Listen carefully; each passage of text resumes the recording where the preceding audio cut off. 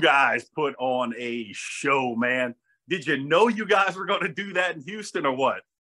well, I can tell you when I when I did know. I, will tell you when I knew. I mean, because it hit me. I mean, I remember it was Friday night. We always went to a movie on Friday night to relax the guys, and uh, we get out of the movie and we get on the bus and we're heading back to the hotel. And the buses had, you know, they got ESPN going, right?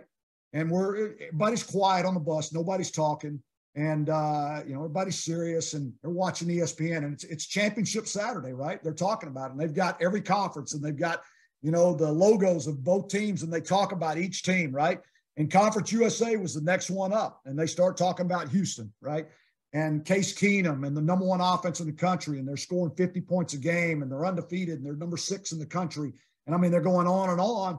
And then when it's time to talk about Southern Miss, it just goes to commercial and that was it. They never said a word.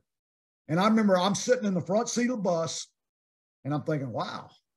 And all of a sudden, uh, one of our linebackers stands up in the back of the bus and he starts hollering and screaming. He is so pissed off, and they all start. And I never turned around. And it was at that moment I knew we were going to play well. I didn't have to do anything, I didn't have to say a word. It was already done on Friday night. And then we played like that on Saturday. You know, it was uh, phenomenal.